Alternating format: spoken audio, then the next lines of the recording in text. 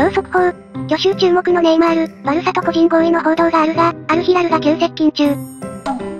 昨日、スペインメディアのバルサユニバーサルが報じた内容には、年俸約20億円でネイマールとバルセロナは個人合意に達したとあったが、ロマーノ氏によるとサウジアラビアのアルヒラルが急接近しているとのこと。その移籍金や年俸については明かされていないが、上巨額の移籍金と年俸であることは間違いないだろう。それと同時に、もしバルセロナにネイマールが加入しないとなった場合には、ジョアン・フェリックスへの交渉をバルセロナは進める可能性が高いという。今夏の移籍市場はまだまだビッグニュースが続きそうだ。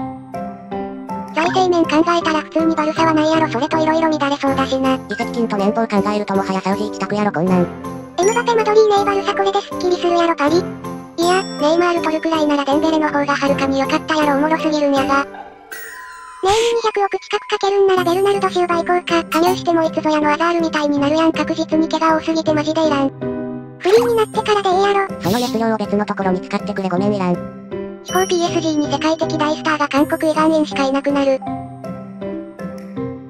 PSG の崩壊ぶりは恐ろしいな伝説に残るレベルだわ。